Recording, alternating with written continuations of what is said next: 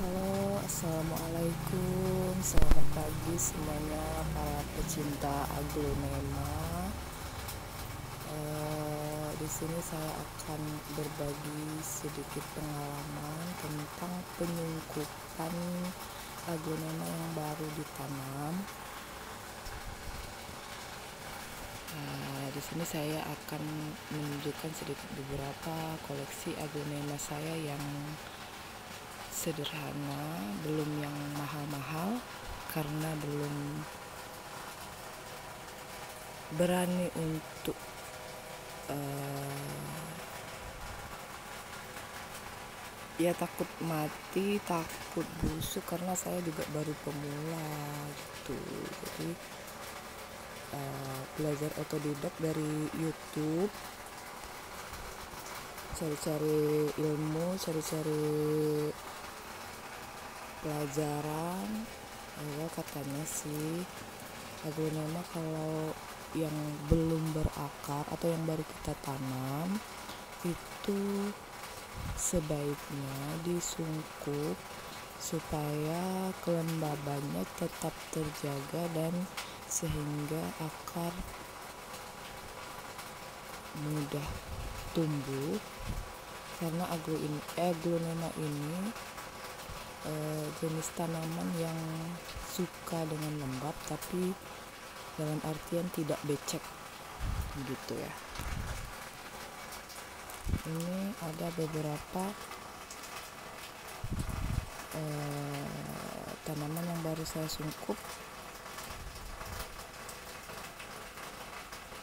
Nanti tiga minggu atau satu bulan ke depan akan saya lihatkan bagaimana hasilnya? Katanya dalam waktu ya paling cepat dua minggu kan sudah tumbuh akar. Ini tidak ada akar sama sekali. Tadi saya lupa untuk uh, menunjukkan videonya yang ketika belum ditanam. Kemudian ada juga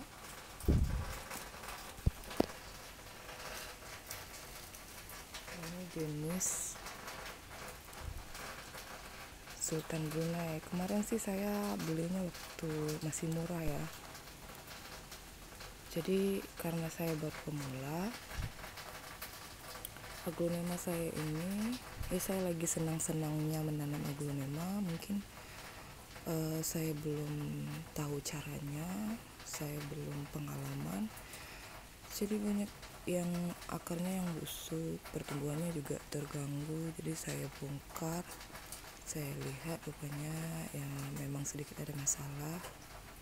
Kemudian saya ganti media saya ganti uh, cara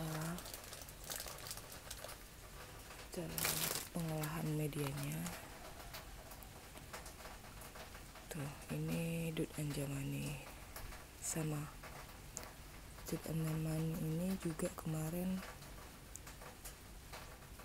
waktu ketika pertama saya beli itu subur sekali akarnya banyak oh, sehat daunnya juga tapi kelama kelama lama kelama lamaan itu uh, akarnya membusuk terus ditandai dengan daun yang pertumbuhan daun yang tidak semakin lambat terus daunnya cepat layu kuning gitu ya. Jadi sama saya bongkar saya ganti media ganti pot yang lebih kecil. Tuh. nanti ini akan saya perlihatkan hasilnya ya paling tiga, tiga minggu ke depan.